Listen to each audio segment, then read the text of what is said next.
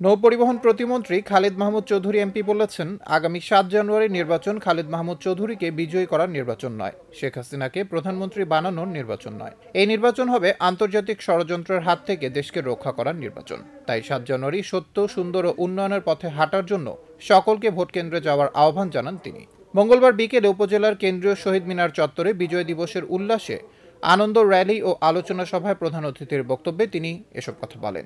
প্রতিমন্ত্রী বলেন, যতই বাধা আসুক, কাউকে ছাড় দেওয়া যাবে না।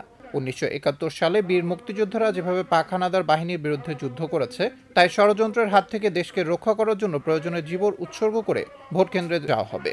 উপজেলা আওয়ামী লীগের সভাপতি ও পৌর মেয়র আলহাজ সবুজার সিদ্দিক সাগরের সভাপতিত্বে বিশেষ অতিথি হিসেবে বক্তব্য রাখেন জেলা আওয়ামী লীগের সাধারণ সম্পাদক আলতাফুজ জামান মিতা, সহসভাপতি আবুল কালাম আজাদ, বজলুর রহমান, বিরল উপজেলা আওয়ামী লীগের সাধারণ সম্পাদক রমাকান্ত রায়, যুগ্ম সম্পাদক ও জেলা পরিষদের সদস্য মোশাররফ হোসেন, অ্যাডভোকেট রবিউল ইসলাম রবি, সাংগঠনিক সম্পাদক শফিকুল আজাদ মনি, বিভূতিভূষণ সরকার, বিরল প্রেস ক্লাবের সভাপতি এম এ কুদ্দুস সরকার সাধারণ সম্পাদক মোজাম্মেল হক শামু, বাংলাদেশ পূজা উদযাপন পরিষদ, বিরল উপজেলা শাখার সাধারণ সম্পাদক সুবল চন্দ্র রায় সহ ইউনিয়নের চেয়ারম্যান বৃন্দ। পরে প্রধান অতিথির নেতৃত্বে বিজয় দিবসের উল্লাসে আনন্দ র্যালিটি পৌর শহরের প্রধান প্রধান সড়ক প্রদক্ষিণ করে।